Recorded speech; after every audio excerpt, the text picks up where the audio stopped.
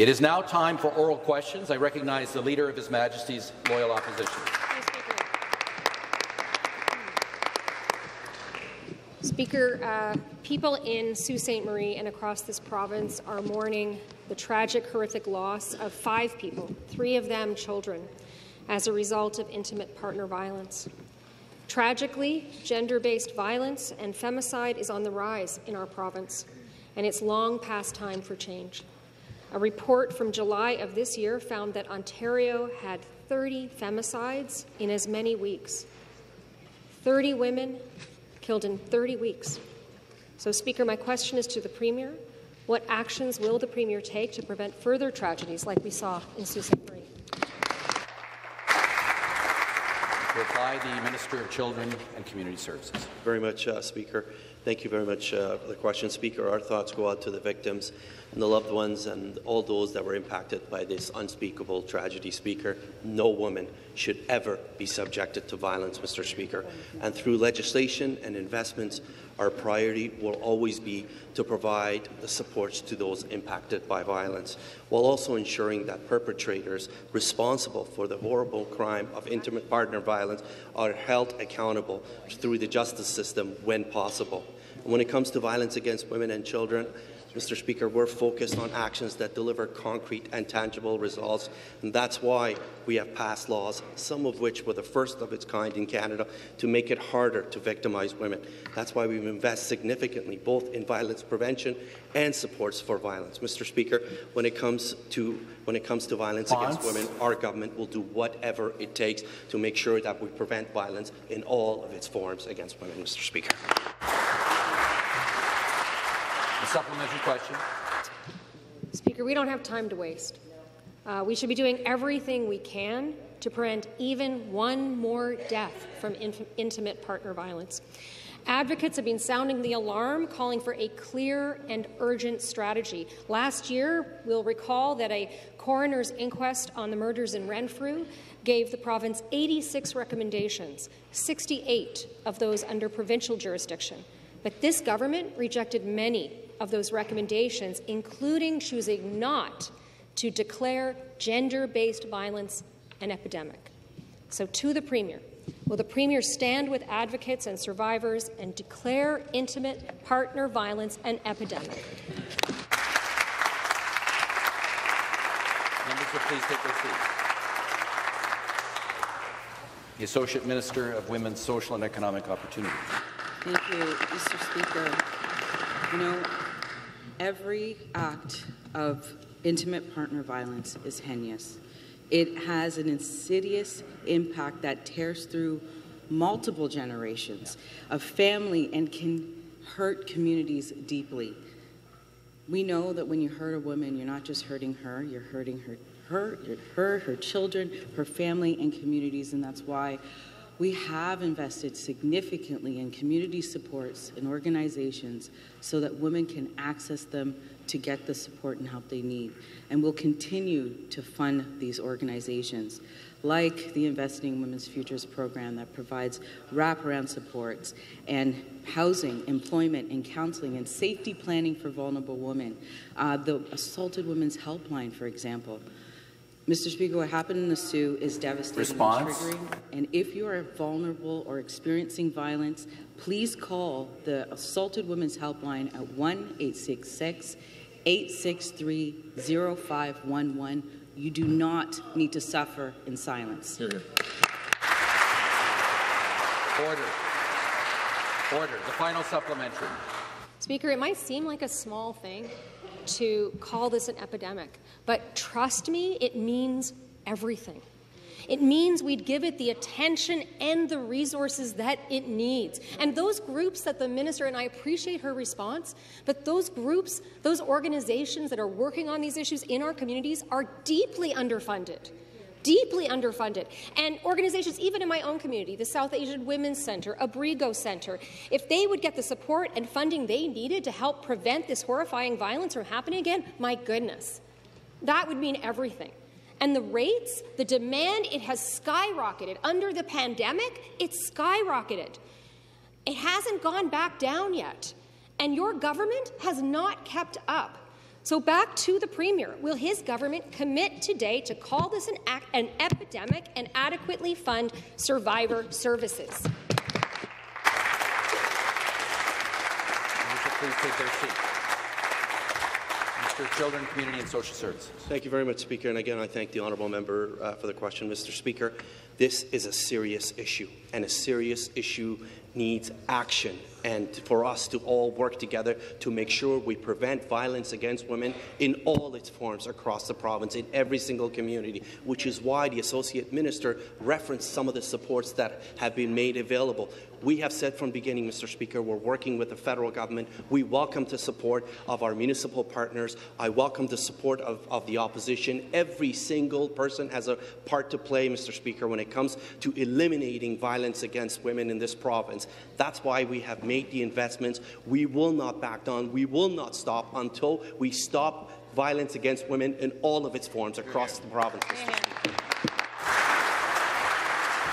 The next question, once again, the Leader of the Opposition. tell you, uh, Speaker, you know, those frontline organizations would be able to do a whole lot more if they didn't have to do fundraising full time. Anyways, my question is to the Premier. On September 25th, the government House Leader tabled a motion to accept the report of the Integrity Commissioner into the former Minister of Municipal Affairs and Housing and to approve the recommendation to reprimand that former minister. The motion is still sitting there on the order paper. So, to the Premier, when will this motion be debated? And to reply, the Government House Leader.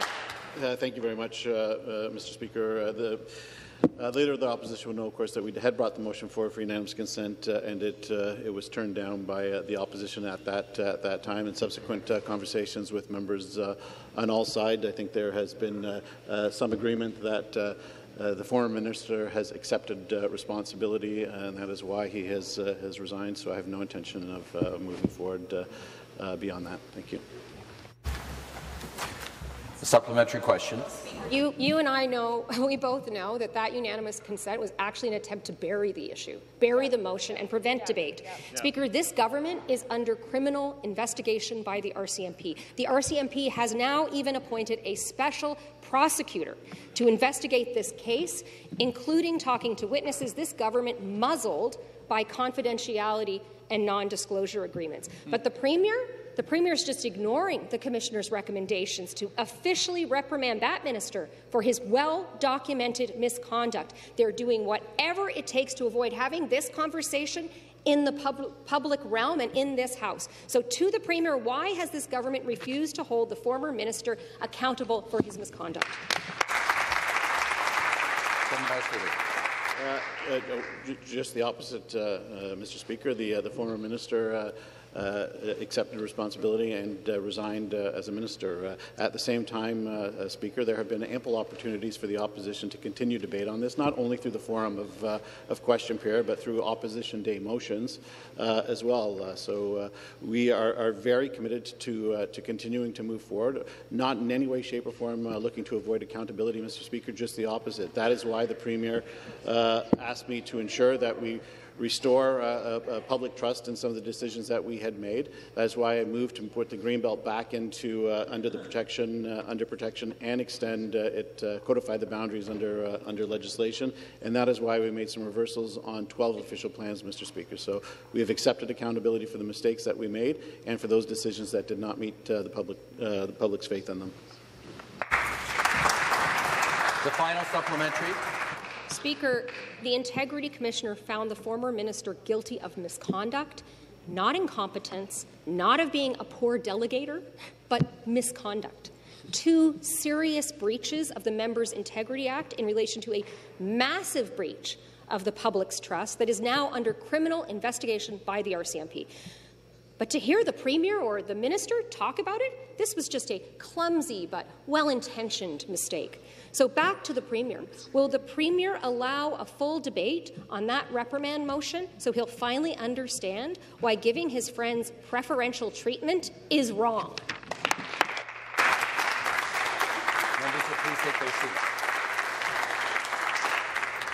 Government House Leader. In fact, uh, just the opposite, uh, Mr. Speaker. We've accepted uh, full responsibility, accepted the uh, the recommendations of, uh, of the Auditor General. That is why we moved uh, quickly to restore the lands that had been removed from the Greenbelt back into the Greenbelt. That is why we've gone further and codified uh, the boundaries of the Greenbelt uh, in uh, in law. At the same time, Mr. Speaker, I was unhappy. The Premier was unhappy with the process that saw 12 official plans, the, some of the changes in 12 official plans. That is why I reversed those plans. Uh, uh, Mr. Speaker. It is about working better with our municipal uh, with our municipal partners, but it's also about ensuring that we move forward on building 1.5 million homes across the province of Ontario. I'm not going to be distracted by that uh, by that mission, Mr. Speaker. We'll continue to get the job done uh, on behalf of the people of the province of Ontario. Thank you. The next question, the member for London North Centre. Good morning, Speaker. This my question is to the Premier. Earlier this year, Scotiabank put out a report calling for a massive expansion of non-market housing to meet the needs of low and moderate income families who can't afford what the private sector is willing to build. Scotiabank said the existing stock of social housing needs to be at least doubled. The NDP just released a non-market housing strategy whose goal is to do exactly that. But two days ago, the Minister of Housing said investing in non-market housing was, I quote, out of the playbook of communist Russia, end quote. Is the minister really so opposed to public investments in non-market housing that Scotiabank is too communist for him? Minister of Municipal Affairs and Housing. Actually, he wasn't listening, uh, Mr. Speaker, because what I said was the was the program that he put forward was out of the playbook of communist Russia. Now we've gone down this road before, right? So Bob. Rae did the exact same plan that the members are proposing, and that program cost us many, many billions of dollars more uh, than they're even than they're promising to spend right now, Mr. Speaker. They're promising to spend, I think it's sixty thousand dollars a unit. That is what they think that they will pay to bring this type of housing on board. Yet, Mr. Speaker, we are actually building social housing across the province of Ontario, working with our partners. Now, Mr. Speaker, the member opposite voted against our attempts, our successful attempts, to remove development charges from those types of homes. In York Region, that equates to removing $180,000 on average from the cost of social housing, Speaker. At the same time, throughout Toronto, for instance, I've used MZOs to build social housing, and they are opposed to that. A supplementary question. Back to the Premier. Canada's federal housing advocates, Scotiabank, and the National Housing Accord, a coalition of housing stakeholders from the nonprofit and for-profit housing sectors, have all called for governments in Canada to double the existing stock of social housing, at the least. There is a broad consensus that governments need to greatly increase investments in public, nonprofit, and co-op housing. But the Minister of Housing thinks this sort of public investing in housing is communism. We hope what hope did low and moderate income families have when this government is so ideologically opposed to public investment in housing? Minister of Municipal Affairs and Housing. Speaker, I, I don't think anybody's believing the member opposite. The people of the province of Ontario know that you cannot build a home for $60,000 like the, the members opposite are, are suggesting. All right? They know that that is completely an unreasonable limit. In fact, when the Bob Rae government, government completed its proposals, they were building homes at $170,000 per unit in 1993. So the program that they put forward does not work. What are we doing? We're building affordable Order. homes across the province of Ontario. We're doing it. We're building higher and more along our transit corridors. We've removed development charges from, uh, from our social housing. We have updated the definition of affordable housing in the province of Ontario to include income and so that it could be reflected across all of the province of Ontario because we know it's unique from Toronto. It's different in the northern parts of the, pro of the province, Speaker. We've done all that. I've used MZOs to ensure that we build social housing with our partners across uh, across uh, the, the, province, Mr. Speaker. So we are getting Response. the job done in a way that actually makes sense and delivers that type of housing for the people of the province of Ontario. Member for Hamilton Mountain will come to order. The next question. Member for Whitby. Thank you, uh, Speaker. My question is for the Minister of Energy. Ontarians need access to affordable electricity, and they never want to return to the days of out-of-control costs like they experienced under the previous Liberal government. Never again should the people of Ontario have to choose between eating and heating because of high electricity costs. People want our energy grid to be efficient, effective, clean, and reliable. At the same time, Speaker, they also want to know that our government is ensuring that their energy bills remain affordable.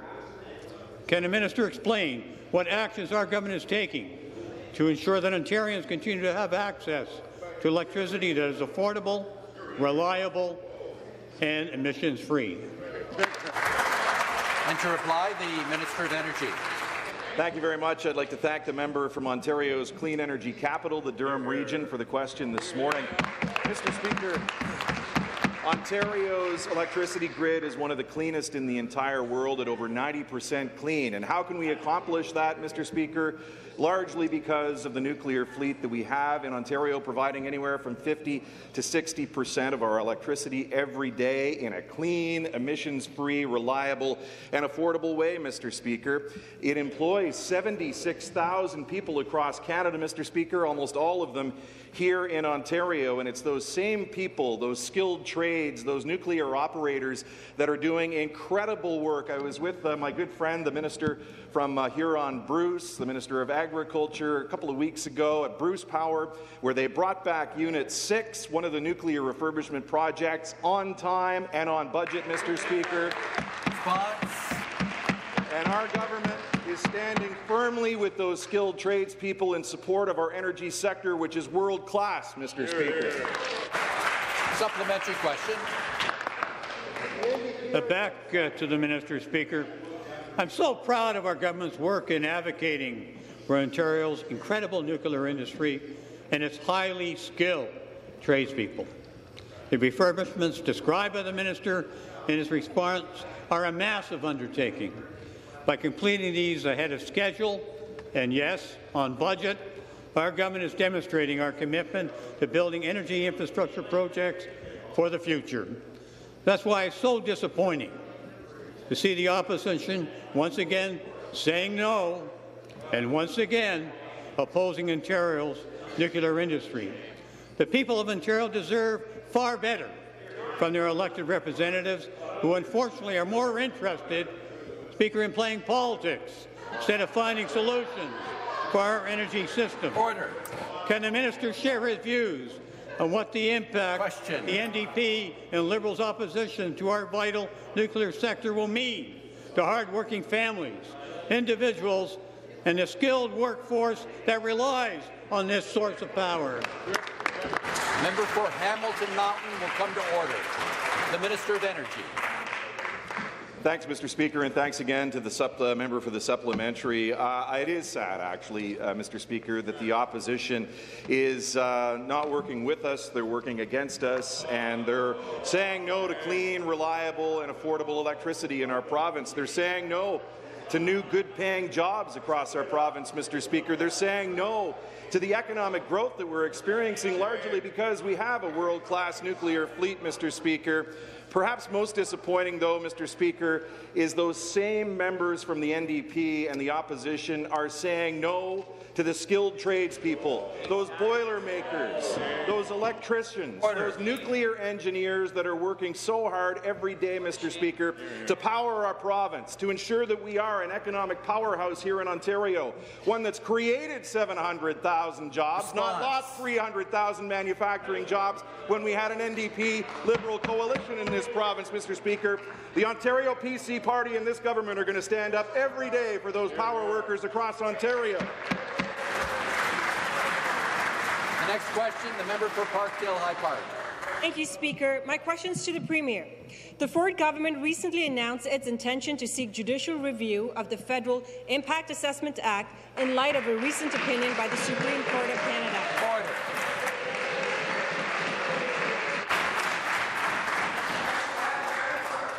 The government side will come to order.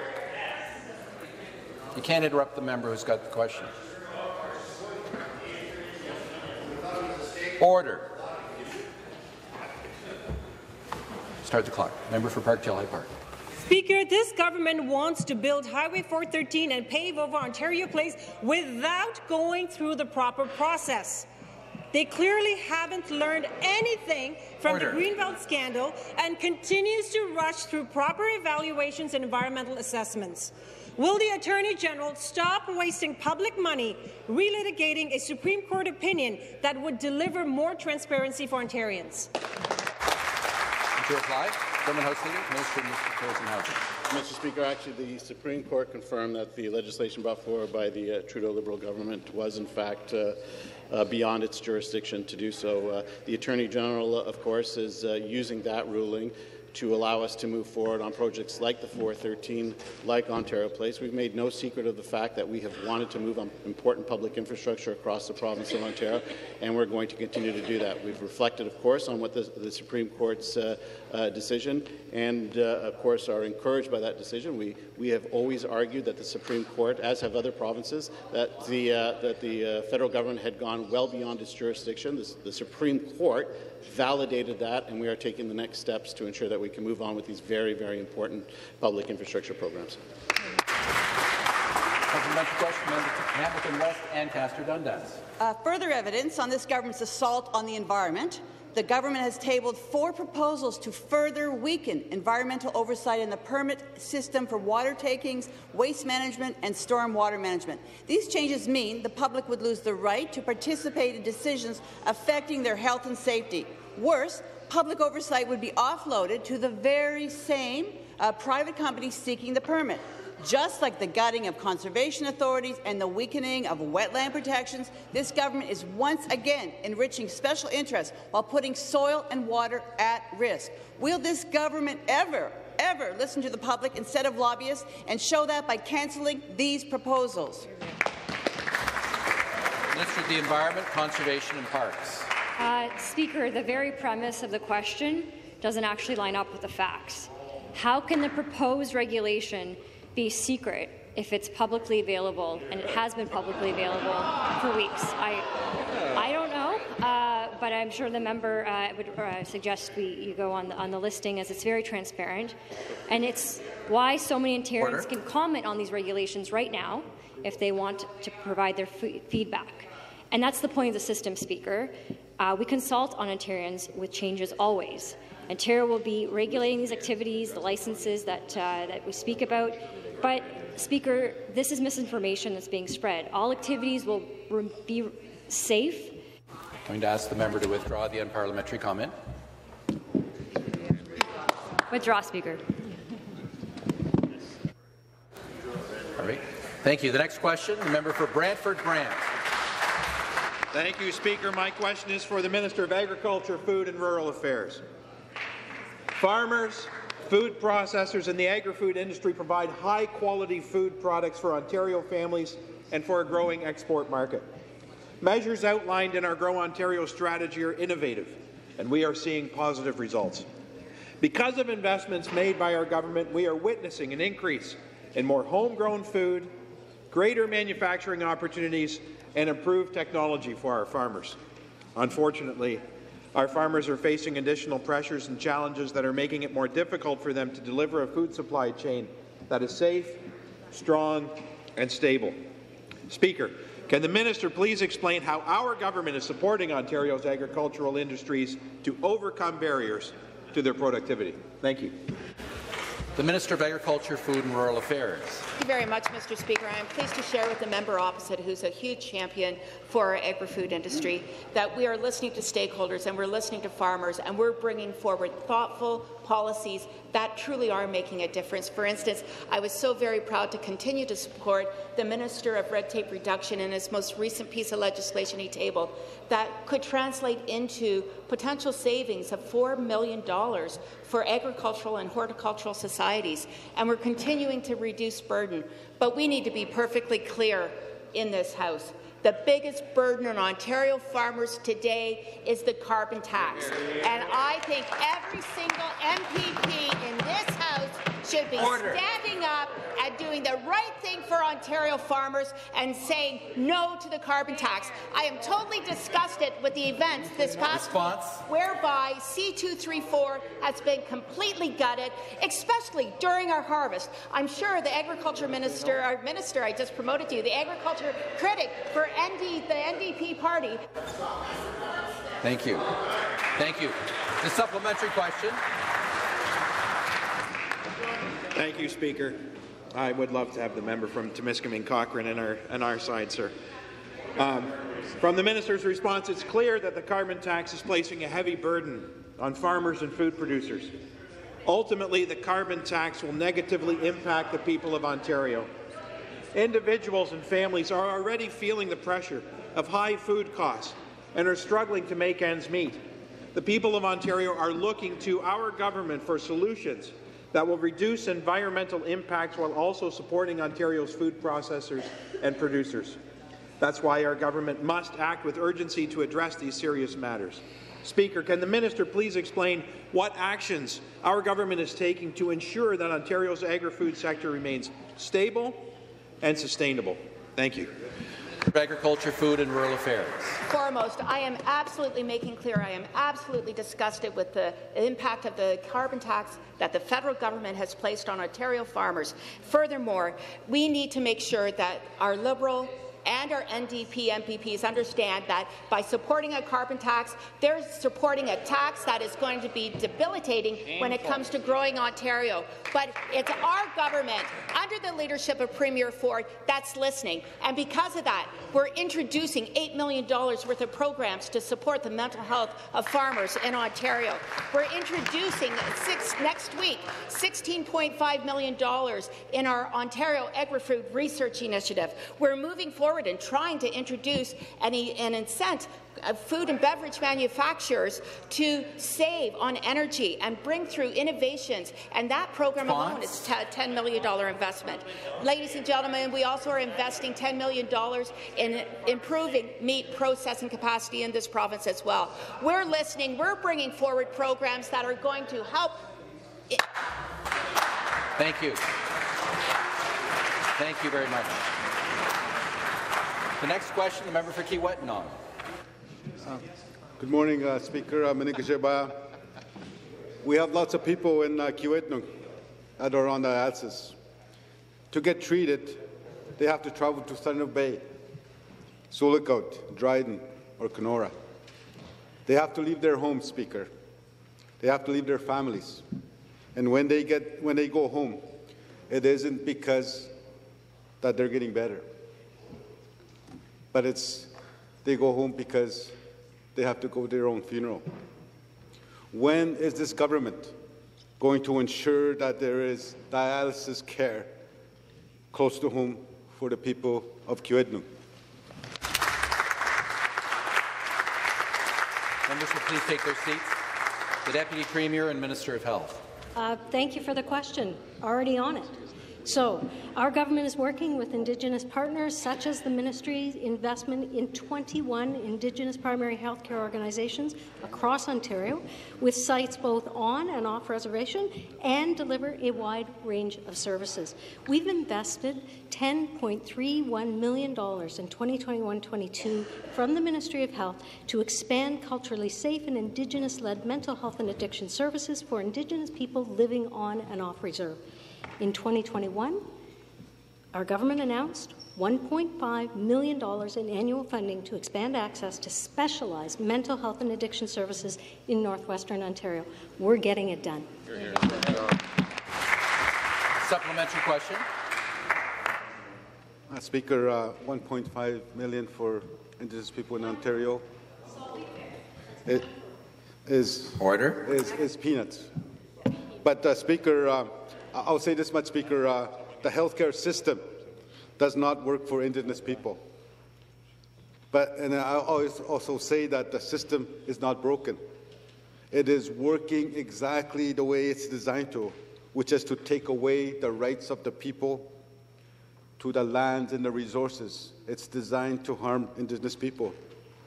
If you say or do nothing to improve that, you are part of the problem. I ask, Speaker, I ask this government, will this government support my motion today to recognize colonialism and being Indigenous as a determinant of health, yes or no? Members please take seats. House Leader. Thank you. Uh, thank you very much, Mr. Speaker. Well, I appreciate the, the member opposite's uh, question. Uh, there is a tremendous amount of work that is being done uh, across the province of Ontario uh, uh, with partners in Indigenous communities, as well as in Northern Ontario and across, really across the province. Uh, Speaker, but I can confirm for the member uh, that we will not be supporting this motion today. We will continue to double down on our efforts to improve health care for all Ontarians, including uh, Indigenous partners. Uh, as well, Mr. Speaker. We are continuing our, our uh, efforts with the federal government uh, also to address some of the very important issues that, uh, that we're seeing uh, on reserves, and we will continue that work. Thank you. Thank you. The next question, the member for Don Valley East. Mr. Speaker, for the Premier. Just two months after the release of the Auditor General and the Integrity Commissioner's damning Greenbelt reports, the government is acting like all is forgiven. Well, the people of Ontario don't see it that way, and neither does the RCMP. Our province was taken on a wild roller coaster wild while ride while a handful of developers hit an $8.3 billion jackpot. Mr. Speaker, this isn't a casino in Las Vegas. This is the people's house. And as the government members are learning, the number one rule in gambling is that the house always wins.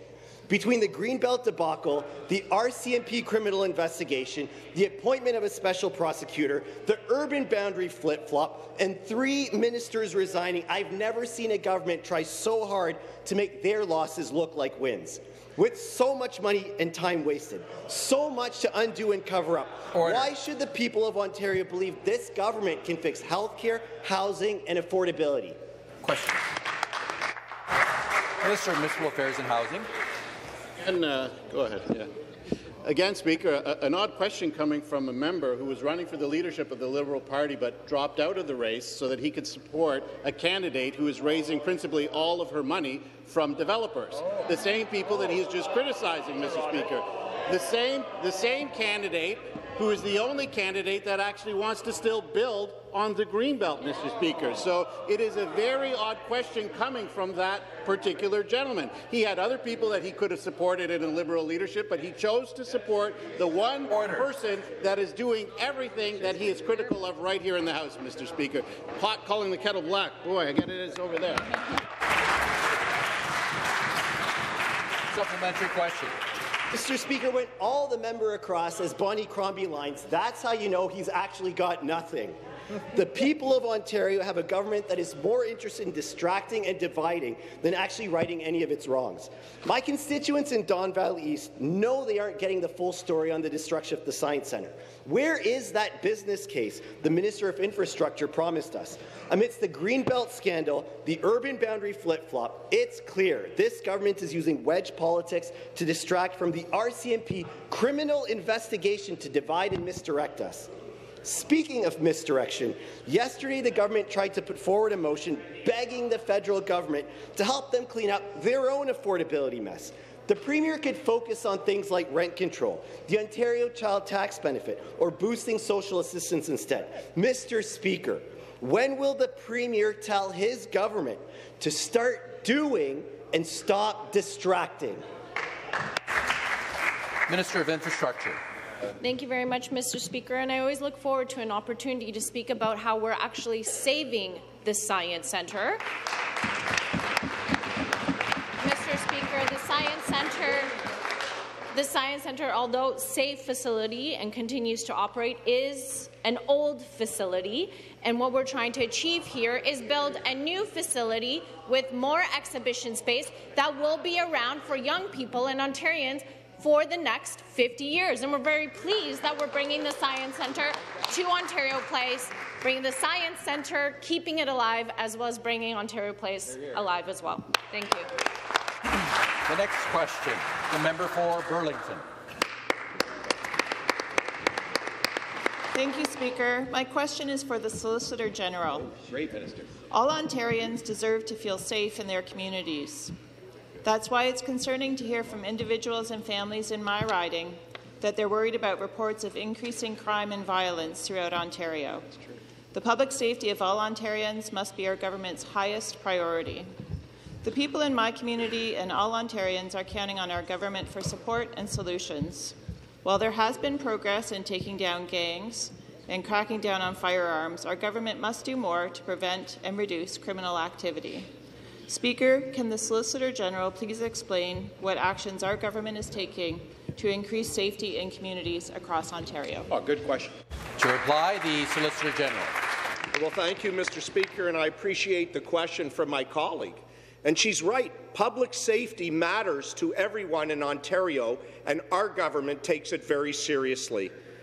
We're taking action, Mr. Speaker, to protect the people of Ontario, and that's why the government created the Gun, Gangs and Violent Reduction Strategy. We're reducing illegal gun and gang violence by providing the resources to local police, prosecutors and community partners across the province. And I'm really proud of this. The strategy funds several initiatives that deliver strong enforcement and prosecution, proactive gang disruption, and tailored youth and adult violent violence prevention. Mr. Speaker, the amount that we have supported in this fund together with our federal partners is over $256 million. And most importantly, Mr. Speaker, we are a government that has the backs of everyone that keeps Ontario safe. Supplementary question. Thank you, Speaker. The Solicitor General's response will be appreciated by the many constituents who have contacted me with their concerns. It's reassuring that initiatives through the Guns, Gangs and Violence Reduction Strategy are providing communities with the resources they need. Since 2018, under the leadership of our Premier, our government has made it clear that gun and gang violence will not be allowed to thrive in Ontario. Our province continues to see positive results from investments made by our government that support our frontline police and the justice sector. However, we must continue to provide more resources that will help dismantle criminal activity. Speaker, can the Solicitor General please explain how our government is supporting our frontline police officers in responding to and preventing crime and violence in Ontario? Good question. Once again, the Solicitor General. Thank you, Mr. Speaker, and I appreciate the question. And the member is correct. Public safety matters, and that's exactly why last month our government announced an investment of more than $2.8 million in new equipment and technology to help police services across the province better protect communities against gun and gang violence. And I'm talking, Mr. Speaker, about the closed circuit television, more commonly known as CCTV. The funding is being delivered through a special CCTV grant program that is part of our Ontario's gun, gang and violence reduction strategy. And we know that 24-hour monitoring, that 24-hour monitoring by so many police services across our province are allowing them to keep our communities safe. In the end of the day, Mr. Speaker, we have a right to live safely in our own homes and communities, and that's why our government will always have the backs of everyone that keeps Ontario safe. Thank you. The next question, the member for London West. Uh, thank you very much to. A question is to the Premier. Speaker, from the Greenbelt grab to MZOs to private evangelical colleges, this government has shown that if you're a friend of the Premier, you will get their special attention. A phone transcript has revealed that the previous Minister of Colleges and Universities, who is the current uh, Chief Government Whip, had assured the Premier's friend Charles McVety that McVety's private evangelical college would get university status, regardless of the independent application review process. At the same time, that minister was telling this House that they, quote, don't meddle with procedural fairness, and that there was, quote, no way to stand in the way way of an independent process. Speaker, did the Premier know what his minister was promising to Charles McVety? Minister of Colleges and Universities. Well, thank you, Mr. Speaker. Let, us look at the timeline of events here. Speaker, the former minister received PEQAB's recommendation and accepted the recommendations years ago. Then the Court of Appeal dismissed Canada Christian College's appeal, and the ministry is uh, accepting the court's decision and uh, thanks the courts for their work on this matter. But, Speaker, maybe instead we should focus, uh, the opposition should focus their time on matters that courts have already ruled on. They focus on, you know, what are we doing now? We Every year, this ministry spends millions of dollars on research to support the latest medical advancements, EV and other critical fields. Our government is getting shovels in the ground to build housing, Twitter. highways, new student housing opportunities across this province. But again, the opposition says no to every single initiative. As Minister of Colleges and Universities, I'm ensuring that our government is getting it done through investing in health Order. human resources, to ensure that we have more doctors, more nurses, and a new medical school in this province. The supplementary question, the member for Toronto Centre. Thank you so much, Speaker. When asked about the approval process for Charles McVety's private college in 2020, the former Minister of Colleges and Universities stood in this House, and I read from Hansard, there is no process that exists that is more fair and accountable than the process we are following, and that there was no ministerial involvement whatsoever. Now we learn on the phone he was actually attempting to rig the process, giving advice on submissions and promising McVety that he would get them where they needed to go, even if the independent board did not approve the requests. Once again, it's only after this government has been caught that they will reverse course. Question to the Premier, yes or no, when has his government been entirely truthful about this process? I'm going to caution the member on the use of her language. Minister of Colleges and Universities can respond. I think I've been extremely clear. The former minister received PEQAB's recommendations and accepted, accepted those recommendations years ago. The Court of Appeal then dismissed Canada Christian College's appeal. We're moving forward. This, what this ministry is doing is looking at making investments and ensuring that we have more nurses across this province. We've increased the number of medical seats. We have a new medical school being built in Brampton as well as Scarborough, the first medical schools that we've seen in the GTA in over 100 years. This is the focus of what this ministry is doing, ensuring that we have trained professionals in all fields across this province. The member for Don Valley North. Sure. Thank you. Thank you, Speaker. My question is for the Solicitor General. Speaker, the issue of cars being stolen in the GTA has worsened. CBC has cited an increase of 48.3 percent year over year in Ontario alone. This also happened to my close personal friends, Alan, Neil, Alex, etc. The same article also stated that 80% of the stolen vehicles are leaving the country, and much of the profits are used by organized crime rings to fund illegal activities like drug and gun trafficking. Speaker, I have heard the growth growing safety concern from the constituents in my riding of Don Valley North, as some of these crimes have escalated into more violent robberies and even broke into houses to obtain car keys. Question. Speaker, my question is, what is this government doing to ensure Ontarians feel safe again? Thank you. To reply, the Solicitor General. Thank you, Mr. Speaker, and I want to acknowledge the question from my friend opposite. Our government finds it unacceptable that every 40 minutes somewhere in Ontario a car is stolen. And that's why we made a record investment of over $51 million to provide the technology and grants for the municipal services and the OPP to combat this. Mr. Speaker, just last two weeks ago, the Attorney General and I were in Bromont, Quebec for the federal, provincial and territorial meeting and I've asked my federal colleagues, step it up at the border, step it up at the Port of Montreal. It's completely unacceptable that our cars are going out through the Port of Montreal. And I want to acknowledge the announcement made yesterday by Toronto Police Service with the record bust. Over a thousand cars were identified and recovered.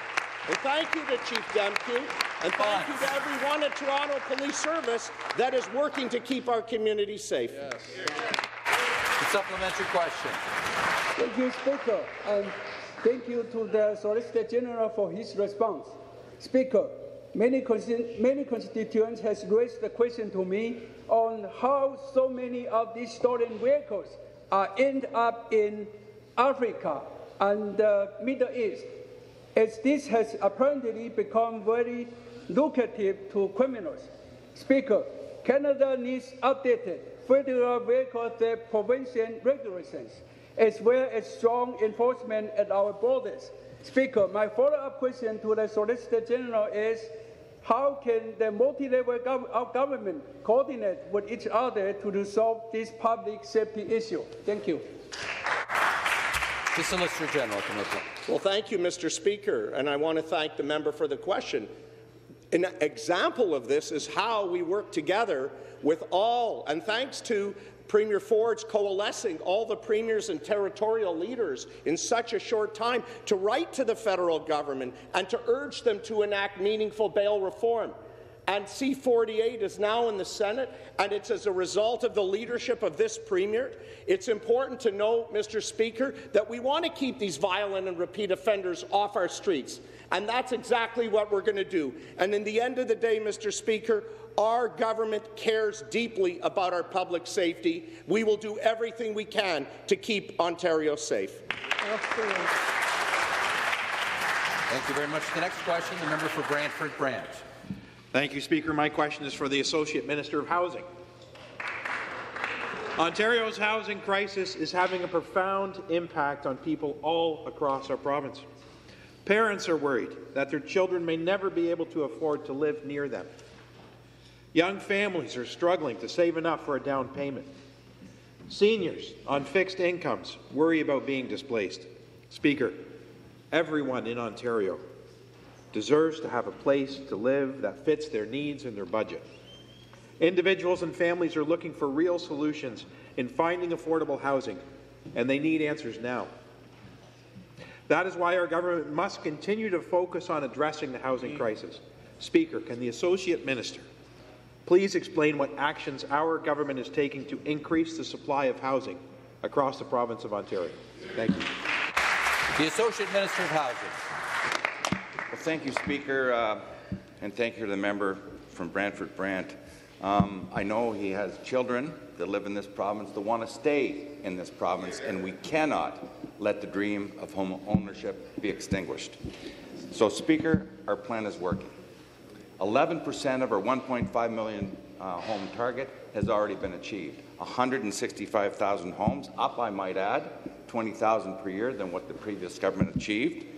Speaker, our plan is working. 14,000, 14,000 new rental starts year over year, up an impressive 43.5% over last year. Speaker, our plan is working, but we know that much more needs to be done. For example, Speaker, working with the Minister of Infrastructure, we're looking at surplus government lands that we can build affordable and attainable homes Response. for all our people. Seniors, students, newcomers, and yes, like first-time homebuyers, Speaker, we will not let the dream of home ownership be extinguished. Supplementary. Thank you, Speaker. It is so positive to hear about the steps our government is taking to increase housing supply that will ensure better affordabilities for buyers and renters. Our government was elected with a mandate to change lives by making housing affordable once again. People who work hard and save diligently deserve to know that they won't find themselves forever shut out from owning a home. For those who rent, they deserve security, not the fear of rising rents. And that is why our government must implement a clear plan to bring about positive results. Speaker, can the Associate Minister please explain what actions our government is taking to open opportunities for Ontarians to find homes that fit their needs and their budgets? Thank you.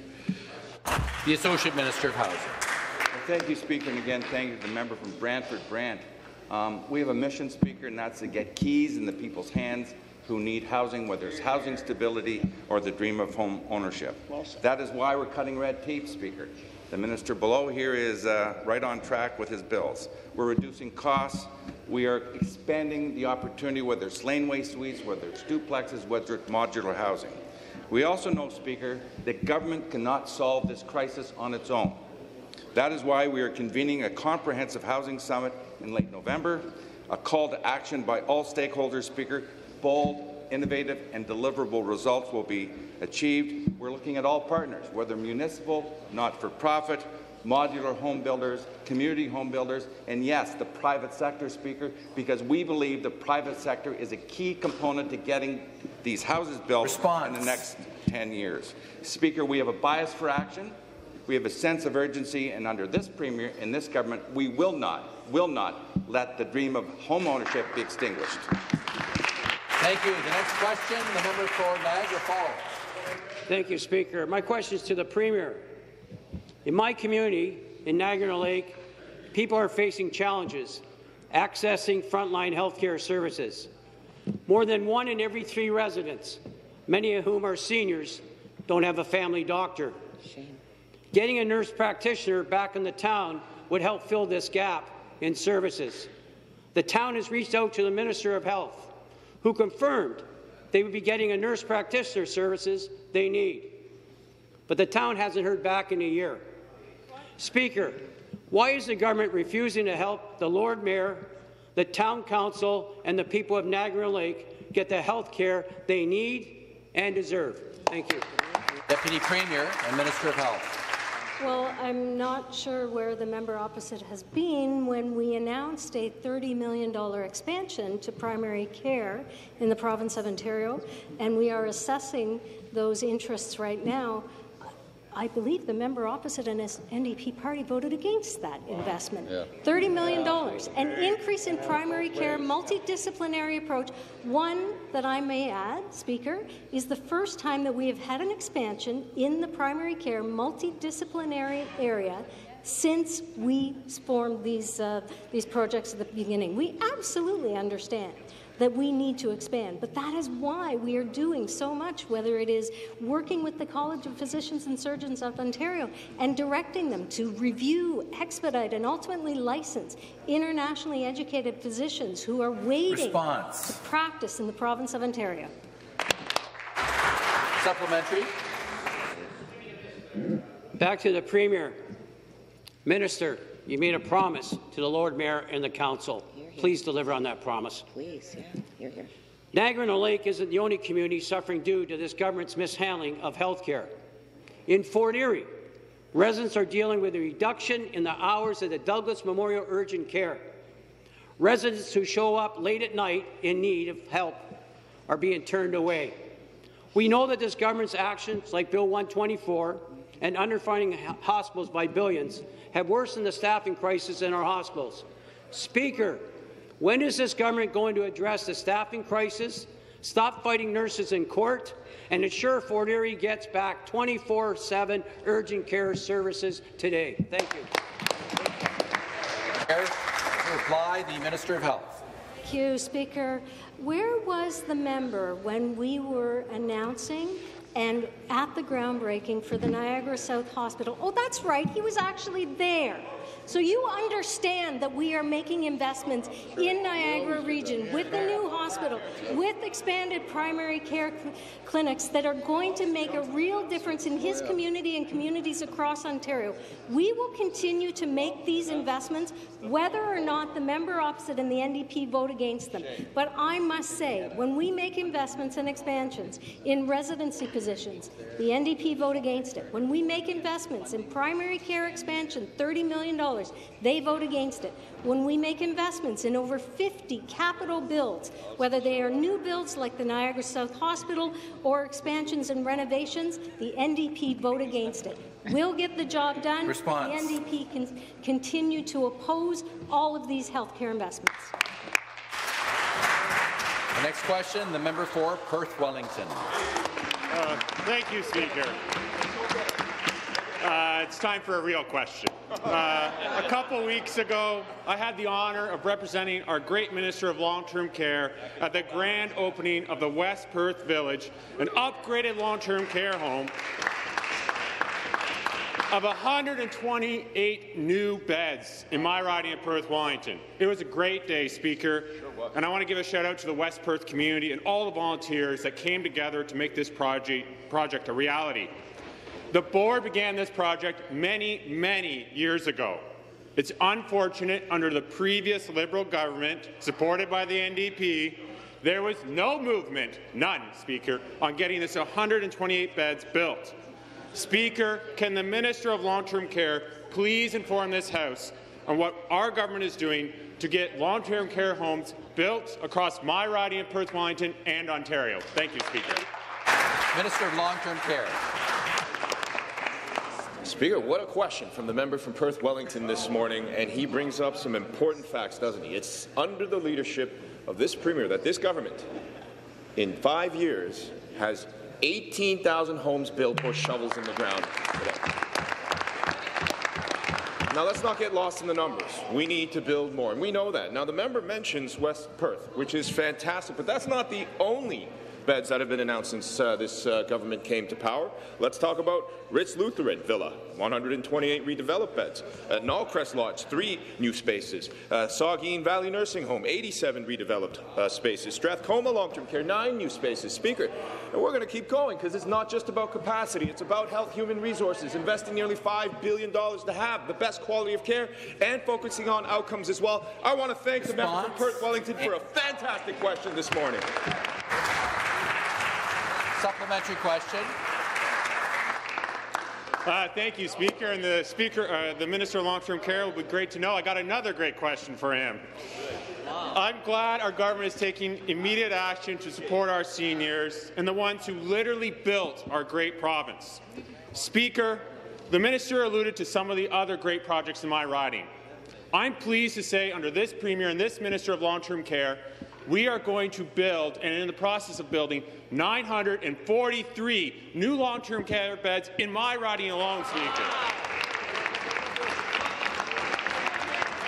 Speaker, as we know under the previous Liberal government, they built 611 beds in the entire province, Speaker. As many people in this place will know, interest rates are higher, there's rising costs to construction, but that's not stopping us, Speaker. We're going to continue to get long-term care beds built across Ontario. Can the minister please share with this House what our government is doing to continue to support our long-term care sector to get it done? Thank you, Speaker. Minister of Long-Term Care. You know, that member's not only tall, he's hardworking, and it really shows this morning, Speaker. You know what this last Minister of Long-Term Care did, recognizing that construction was challenged with increased costs and supply chain challenges? He introduced the construction funding subsidy, which led to the building of over 11,000 spaces for our wonderful seniors in the province of Ontario. I want to thank the Minister for that work. But that's not all he did. He introduced something called the Local Priorities Fund, which actually targets the outcomes within our health care system. That includes, of course, long-term care homes. You know what this member got in his writing? Let's talk about it, there, Speaker. $8,700 to Spruce Lodge for the purchase of diagnostic equipment. $52,000 to Kingsway Lodge for the purchase of specialized bariatric equipment, as well as better outcomes for the dementia seniors that live there. Uh, $19,000 to Kingsway Lodge for the purchase of diagnostic equipment. And the list goes on, Speaker, because why? If we can keep our seniors out of the hospitals for minor ailments, fractures, that's a better outcome for the hardworking people of this province. Speaker, let's say it again. Seniors built this country. They took care of us. That member and this government is taking care of them. That's right. The next question, the member for Hamilton Mountain. Thank you, Speaker. My question is for the Premier. 212 days ago, my private member's bill, Bill 74, Missing Persons Amendment Act 2023, was ordered to the Standing Committee on Justice Policy. That was seven months ago. Since then, there have been numerous vulnerable missing persons reported across Ontario. Some have died. Some have been found and reunited with their loved ones. Others have yet to come home. These cases have shaken neighbourhoods, and the search continues to this day.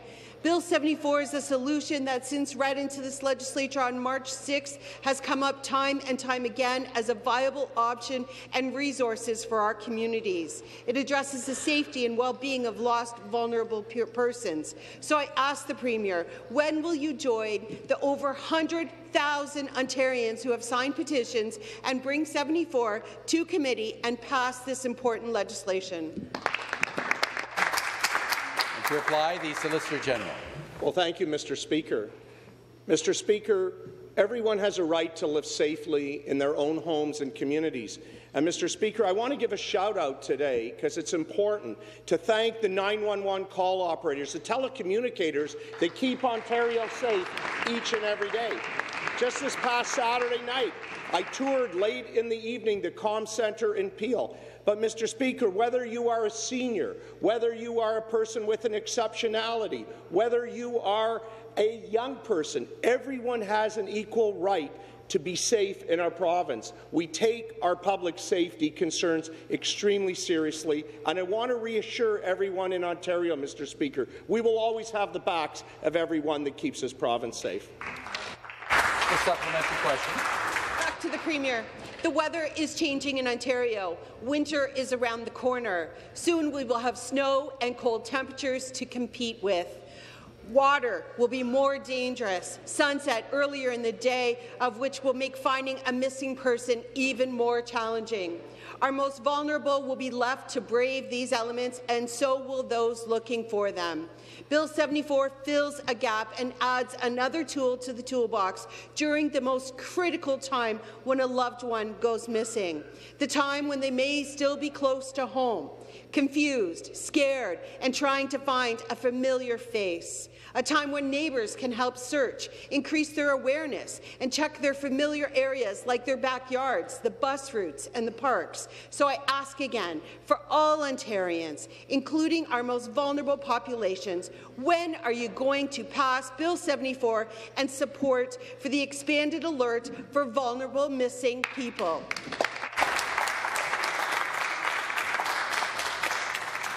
Solicitor General.